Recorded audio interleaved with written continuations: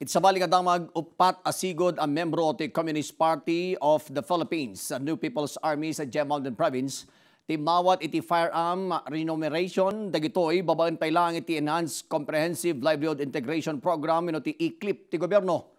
Indol 1 ni Provincial uh, DILG Director Anthony Balog iti panangipaa iti pakabuklan a 370,000 pesos nga pinansyal at tulong para kadagiti sigod a CPP NPA members manipod da sadanga. Anong isuko iti armasda ken nagsubli iti sidong ti gobyerno. Nagdesisyon na gitoy amang ibaba iti armasda tapno makapagrugi manen.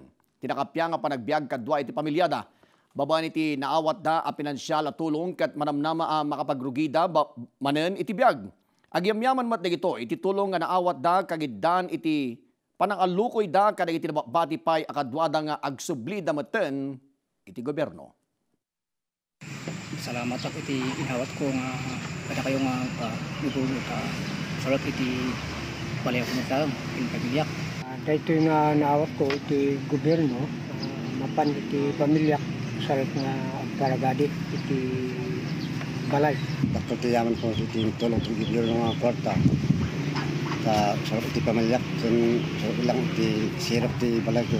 dagiti pakailian dagiti impi nga tangasin mo rin daw nga dagay bantay maamamumit at ko makabalinan na maawisin suda.